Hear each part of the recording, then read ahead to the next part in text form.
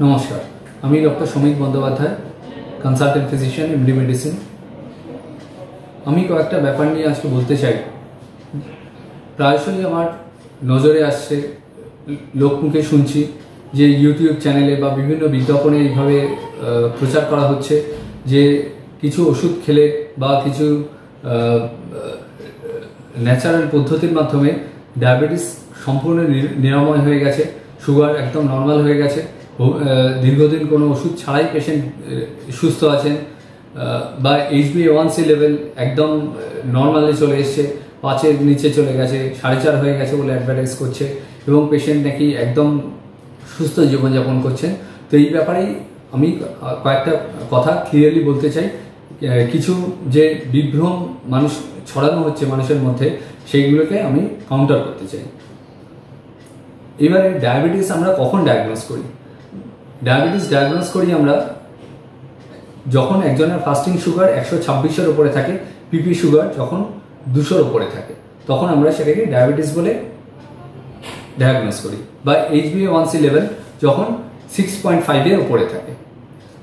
এইবারে সাময়িকভাবে অনেকের সুগার বাড়তে পারে, যেমন স্ট্রেসের কারণে সুগার বাড়তে পারে, বিভিন্ন রকম ওষুধের কারণে সুগার বাড়তে পারে তো সেই সব ওষুধ, যেমন স্টেরয়েড ওষুধ খেলে অনেক সময় যে সুগার বাড়ে, অনেক সময় অত্যধিক স্ট্রেসের জন্য সুগার বাড়ে, সেক্ষেত্রে কিন্তু ফাস্টিং পিপি সুগার কিন্তু এই যে মাত্রা যেগুলো নির্ধার- নির্ধারিত রয়েছে, সেই মাত্রাগুলোর ওপরে চলে যেতে পারে এবং সেগুলো টেস্ট করলে তখন তখন কিন্তু মনে হতেই পারে যে এই পেশেন্টের ডায়াবেটিস আছে।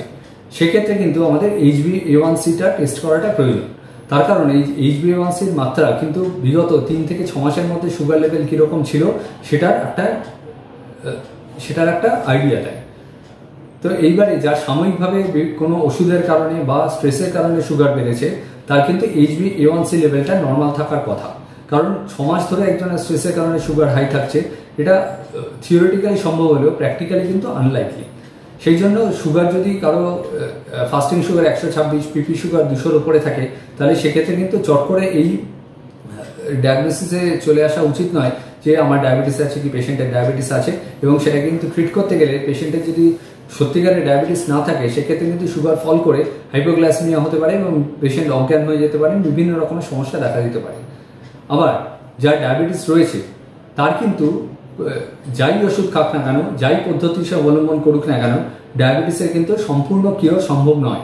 তার কিন্তু কোনো অবস্থাতেই সুগার লেভেল নর্মাল হয়ে যাওয়ার পরে তার ডায়াবেটিসের ওষুধপত্র বন্ধ করা সম্ভব নয়। ডায়াবেটিসের ওষুধ যদি কোনো কারণে বন্ধ করা হয়, তাহলে কিন্তু আবার একশো শতাংশ সম্ভাবনা থাকে যে সুগার আবার বেড়ে যাওয়ার। তো সেই জন্য সুগারের ওষুধ বন্ধ করে দিলাম, কারও কারও কোনো দাবির সাপেক্ষে। সেটা কিন্তু সঠিক কাজ হবে অনেক ক্ষেত্রে দেখা যায় যে যার সুগার লেভেল নর্মাল যার সুগার লেভেল খুব হাই, তার সুগার লেভেল ধীরে ধীরে কমতে কমতে নর্মাল হয়ে গেছে। যার আগে হয়তো তিন রকমের ওষুধ প্রয়োজন পড়ছিল তার দু রকমের ওষুধ লাগছে কি, একরকম ওষুধ লাগছে, কারও বা ওষুধ লাগছেই না। তার কিন্তু ওষুধ ছাড়াই সুগার কন্ট্রোল হয়ে যাচ্ছে। তাহলে সেক্ষেত্রে কিন্তু দেখতে লাগবে যে অন্য কোনো কারণ আছে কিনা, যে যেখান থেকে সুগার লেভেল নর্মাল হয়ে যাচ্ছে। আমাদের শরীরে সুগার কিন্তু দুভাবে রেগুলেটেড হয়। একটা হচ্ছে লিভারের মাধ্যমে, একটা হচ্ছে কিডনির মাধ্যমে। কিডনির কিডনি দিয়ে কিন্তু আমাদের শরীরে ইনসুলিনটা এলিমিনেটেড হয়। আমরা সবাই জানি কিডনি আমাদের একটা এমন একটা অর্গান যেখান থেকে শরীরের যে বিভিন্ন রকম সাবস্টেন্স যেগুলো টক্সিক সাবস্টেন্স বা ভালো যেগুলো সাবস্টেন্স সেগুলো এলিমিনেটেড হয় ইউরিনের মাধ্যমে।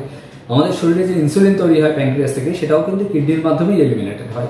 এবার যদি দেখা যায় কারও ডায়াবেটিসের কমপ্লিকেশন থেকে কিডনি খারাপ হয়ে গেছে ক্রনিক রিনাল ফেলিয়ার ডেভেলপ করেছে, তাহলে সেক্ষেত্রে কিন্তু শরীর থেকে ইনসুলিন বেরোতে পারে না। ইনসুলিনের হাফ লাইফ আমরা যেটাকে বলি, সেটা বেড়ে যায় প্রলং হয়ে যায়।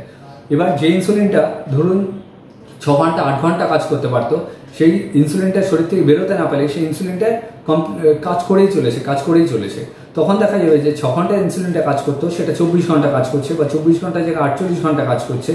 আটচল্লিশ ঘণ্টা হয়ে গেলে তিন দিন ধরে ইনসুলিনটা কাজ করছে। এভাবে শরীর থেকে কিন্তু ইনসুলিনটা বেরোতে পারছে না। সেক্ষেত্রে যেটা হবে ইনসুলিনের উপর ইনসুলিন জমতে জমতে জমতে জমতে সুগারটা কিন্তু গ্র্যাজুয়ালি নর্মালি চলে আসবে। কিন্তু তার কারণটা কিন্তু, তার ওষুধের মাধ্যমে যে সুগার কিওর হয়ে গেছে সেটা নয়। তার তার কারণটা হচ্ছে তার সুগার বেশি থাকার দরুন কিন্তু তার কিডনিটা খারাপ হয়ে গেছে কিডনিটা নষ্ট হয়ে গেছে এবং সেই জন্য ইনসুলিন শরীর থেকে বেরোতে পারছে না বলে সেই একই ইনসুলিন দীর্ঘ সময় ধরে কাজ করছে বলে কিন্তু তার সুগারটা কন্ট্রোলে থাকছে। কিন্তু তার যে কমপ্লিকেশনটা ডেভেলপ করেছে, সেই কমপ্লিকেশনটা কিন্তু ক্রনিক রেনাল ফেলিয়ার সেটা কিন্তু আর তার কোনোদিনই ঠিক হবে না। তখন এটা ধীরে ধীরে কিন্তু খারাপের দিকে যেতে যেতে কিন্তু পেশেন্টের পরবর্তীকালে ডায়ালিসিস লাগতে পারে কিডনি ট্রান্সপ্লান্ট লাগতে পারে, সেগুলো কিন্তু খুবই ভয়াবহ কমপ্লিকেশন আবার আরেকটা যেটা হতে পারে, আমাদের কিন্তু ইনসুলিনের কারণে শরীর, যে প্যাঙ্ক্রিয়াস থেকে যে ইনসুলিন সিক্রেটেড হয়, সেটার কারণে কিন্তু আমাদের লিভার থেকেও গ্লুকোজ তৈরি তৈরি হয়। এবার এই ইনসুলিন যদি সঠিকভাবে কাজ করতে না পারে ইনসুলিন রেজিস্ট্যান্স যদি মাত্রা, মাত্রাতিরিক্ত হয়ে যায়, তাহলে সেক্ষেত্রে কিন্তু যে হেপাটিক গ্লুকোজ আউটপুট সেটা কিন্তু কমে যেতে পারে। সেটা যদি ড্রাস্টিক্যালি কমে যায়, তাহলে সেক্ষেত্রে কিন্তু দেখা যাবে যে রক্তে যে গ্লুকোজের মাত্রা, সেই গ্লুকোজের মাত্রাটা ধীরে ধীরে কমে আসছে। তো গ্লুকোজের মাত্রা যদি কমে আসে, তাহলে ন্যাচারালি সুগার লেভেলও তার কমে আসবে। কিন্তু এই সুগার লেভেল কমে যাওয়ার কারণটা কি? তার এই সুগার লেভেল কমে যাওয়ার কারণ কিন্তু তার ওষুধের প্রয়োজন পড়ছে না বা তার ডায়াবেটিস কন্ট্রোল হয়ে গেছে, সেটা কিন্তু নয়। তার এই সুগার লেভেল কমে যাওয়ার কারণ হচ্ছে তার অত্যধিক মাত্রায় ব্লাডে গ্লুকোজ থাকার দরুন কিন্তু লিভার থেকে গ্লুকোজ সিক্রেটেড হচ্ছে না। সেই হেপাটিক গ্লুকোজ আউটপুট কমে যাওয়ার কারণে কিন্তু তার সুগার কন্ট্রোল হয়ে গেছে। তার মানে তার ডায়াবেটিসের কারণে লিভারটা খারাপ হয়ে গেছে। ডায়াবেটিসের কারণে লিভার খারাপ হয়ে যাওয়ার দরুন তার হেপাটিক গ্লুকোজ আউটপুট কমে যাওয়ার জন্য তার কিন্তু সুগার লেভেল কন্ট্রোল হয়ে গেছে। কিন্তু সেটা কিন্তু আদৌ খুশির খবর নয়। তার কারণ এটা কিন্তু আবার লিভারের একটা রিলেটেড কমপ্লিকেশন যেটাকে আমরা বলি যে non alcoholic fatty liver disease এবং সেটা যদি তখনও আমরা কন্ট্রোল না করি, তাহলে কিন্তু সেটা বাড়তে বাড়তে সেটা কিন্তু লিভার সিরোসিস হয়ে যেতে পারে, যেটা NF NFLD related cirrhosis of liver সেক্ষেত্রে কিন্তু লিভারের, এই ধরনের লিভার ডিজিজের কিন্তু কোনো রকম কিওর সম্ভব নয় এবং এটা কিন্তু একমাত্র লিভার ট্রান্সপ্লান্টেশন ছাড়া কিন্তু এর কোনো রকম চিকিৎসা সম্ভব নয়। সেই জন্য আমি বলব যে এইসব যে বিজ্ঞাপন ছড়ানো হচ্ছে, যে কোনো ওষুধ খেয়ে বা ন্যাচারাল পদ্ধতিতে সুগার একদম নর্মালে চলে এসছে সেই সবগুলো বিশ্বাস না করে সঠিকভাবে আপনারা আপনারা সুগারের ওষুধপত্রগুলো খান। আপনার যে ডাক্তারবাবু রয়েছে, ওনার পরামর্শ মতো ওষুধ খান, প্রয়োজনে ইনসুলিন নিন এক্সারসাইজ ডায়েট কন্ট্রোল এগুলো প্রপারলি করুন এবং আপনারা এর মাধ্যমে কিন্তু সুস্থ থাকতে পারবেন। আর যদি এইসব যে বিভ্রান্তিমূলক যে খবর বা বিভ্রান্তিমূলক যে বিজ্ঞাপন বাজারে চলছে, এগুলোতে আপনারা যদি বিশ্বাস রেখে ওষুধ খাওয়া বন্ধ করে দেন, বা এইসব যদি জায়গায় গিয়ে ওনারা যেসব ওষুধপত্র দিচ্ছেন বা ওষুধপত্রের নামে যেসব জিনিসপত্র দিচ্ছেন, সেগুলো আপনারা যদি বিশ্বাস করে খান, তাতে কিন্তু আপনাদের শারীরিক ক্ষতি ক্ষতি হতে পারে এবং এমন ক্ষতি হতে পারে যেটাকে আমরা বলব ইরিভার্সিবল ড্যামেজ এবং সেখান থেকে কিন্তু পরবর্তীকালে বেরিয়ে আসার কোনো উপায় থাকবে না। নমস্কার।